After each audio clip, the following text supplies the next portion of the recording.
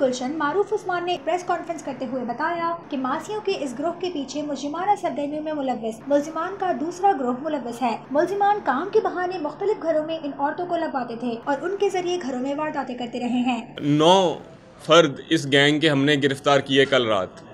کل اس گینگ کے چودہ افراد ہیں جن میں سے نو ہم نے گرفتار کیے ہیں اور جن میں سے چار خواتین بھی ہیں۔ یہ گینگ بیسیکلی گھروں میں ماسیوں کا اور میڈ کا پہلے کام کرواتے ہیں خاتون کو گھر بھجواتے ہیں دو تین دن گھر میں کام کرنے کے بعد خاتون گھر چھوڑ جاتی ہے دس سے پندرہ دن بعد واردات کر دیتے ہیں۔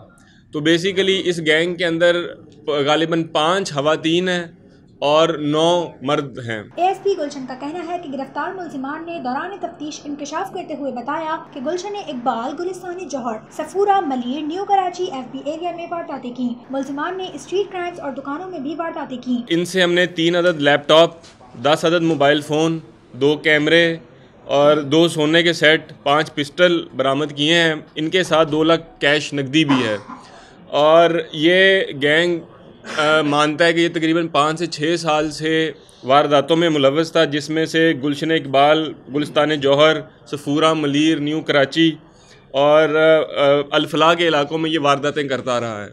ابھی ابتدائی تفتیش کے اندر یہ آٹھ ایگزیکٹ وارداتیں جن کی ایف آئی آریں بھی مختلف تھانوں میں موجود ہیں، وہ انہوں نے نشاندہی کی ہے۔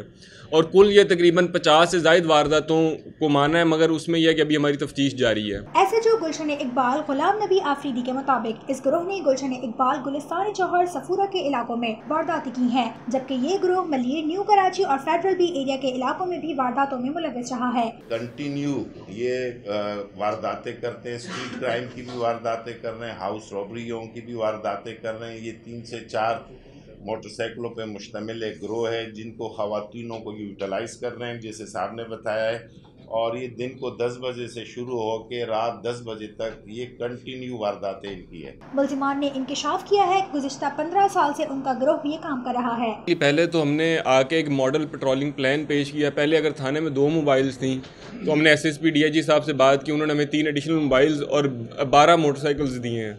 اس کے علاوہ ان کی ہم نے بیٹ پلان بنایا، ان میں ٹریکرز لگوائے ہیں جن کے ذریعے ہم جو نا پٹرولنگ کو بہت افیکٹو بنا رہے ہیں۔ یہ کامیابی بھی ہمیں اس لیے ملی ہے کہ ہماری پٹرولنگ افیکٹو تھی اور پولیس جیسے ہی خبر ملی with in three four minutes ہم موقع پہ پہنچ گئے اور ہم نے پکڑنے سے پہلے، ان کے جانے سے پہلے ہم نے انہیں حراست میں لے لیا۔